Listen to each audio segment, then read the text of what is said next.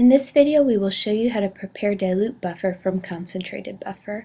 You will need a volumetric flask with a concentrated buffer you prepared, a volumetric pipette with a bulb, a beaker, and a wash bottle filled with DI water. First you will rinse out the volumetric flask you used to prepare your concentrated buffer. Make sure this is well rinsed so you don't have any buffer residue remaining. Take your concentrated buffer that you previously prepared, either the tris or the acetic buffer, and use your 10 milliliter volumetric pipette to pull up first 10 milliliters, making sure that you get to the line.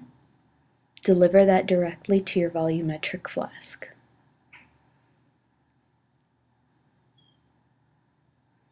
Allow it to drain on its own making sure that you have a small amount of volume left in the tip so that you delivered an accurate amount.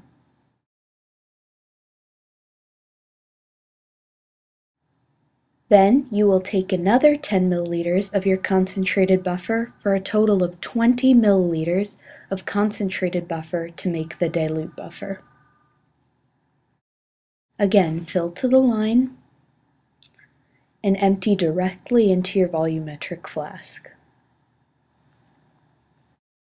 As you recall, it takes a few seconds for the pipette to drain all the liquid into the volumetric flask.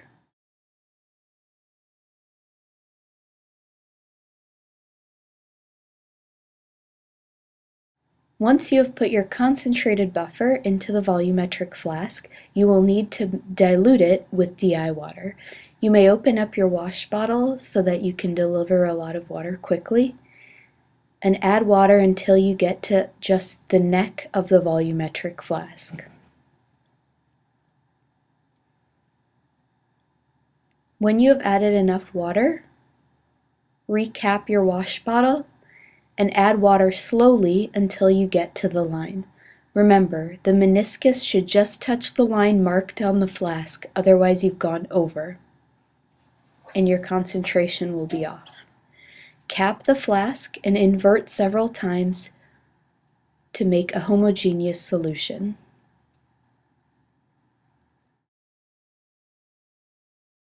Then pour this solution into a beaker that you've labeled dilute buffer.